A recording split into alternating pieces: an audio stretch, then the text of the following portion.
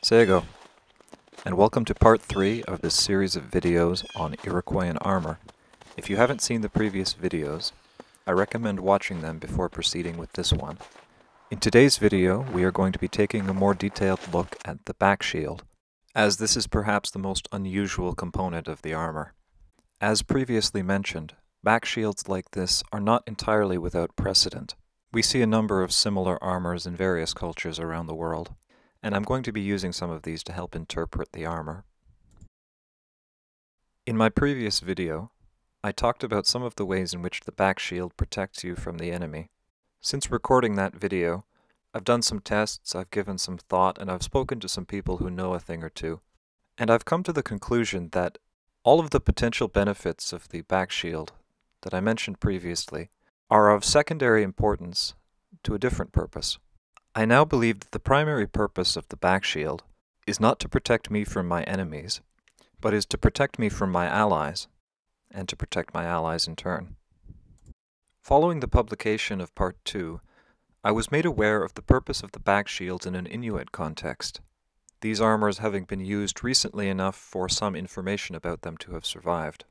The idea with these armors is that behind the front rank of the experienced warriors, the men of proper fighting age, you would have the less experienced fighters, the teenage boys and the like. These would throw stones and the like over the heads of the front ranks. The back shields allowed this to be done safely. Without these back shields, every stone that you threw had a chance of injuring, perhaps severely, the man in front of you.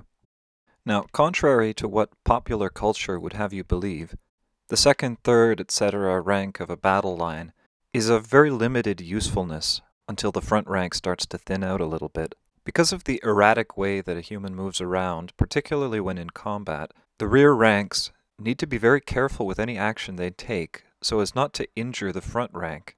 Because of this, the movie and video game idea of the swordsman in front, archers behind formation is largely a myth.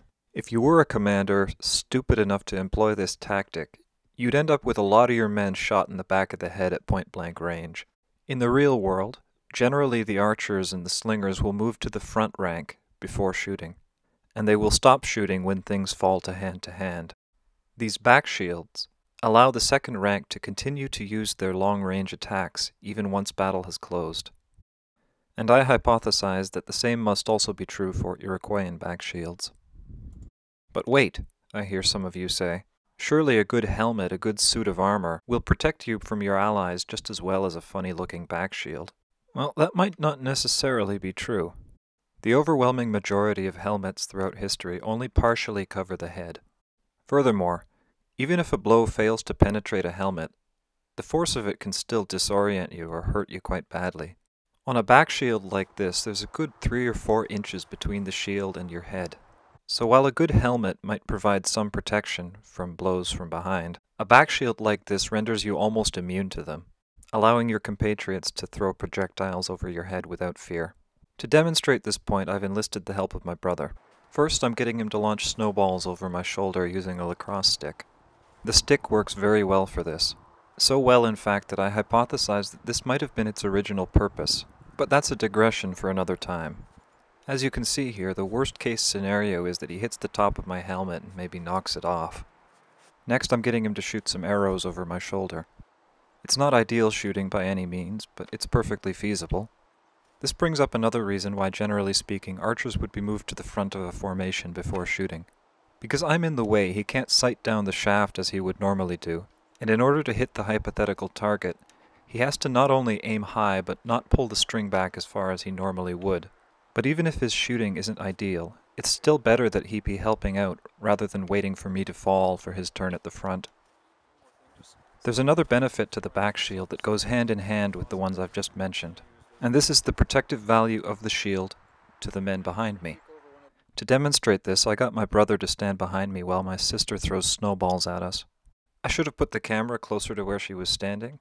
From her perspective, the only bits of my brother that she could see were the sides of his legs. Something of note here is how difficult it is to stand still when someone is throwing things at you.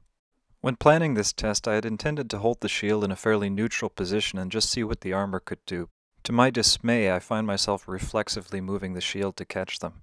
Eventually, I force myself to hold the shield low, but Now I find myself flinching and dodging out of the way. One of these times I dodged so far out of the way as to expose my brother. This brings up an interesting idea that perhaps the Iroquoian warrior might have had to train himself not to dodge. That's just a thought, though. Following the test, my sister reported that the only way she could have possibly hit my brother was by throwing a snowball between my legs and hitting him in the shins. Anything that might have hit him was caught by the shield. But wait, I can hear some of you say. Surely it's more efficient to use a great big handheld shield than strap something awkward to your back. There's a couple of reasons why a back shield might be preferable. Firstly, I can shield the person behind me more closely with the back shield than I can with a handheld shield. Because the back shield is closer than a handheld shield to the man behind me, any projectiles striking him have to come in at a steeper angle. An arrow with a steep arc has less power and accuracy than an arrow with a flat arc. But I hear you say, surely he could defend himself better by carrying the shield himself rather than leaving it to me. This is where things tie back into the first point I was making. Throwing projectiles requires two hands.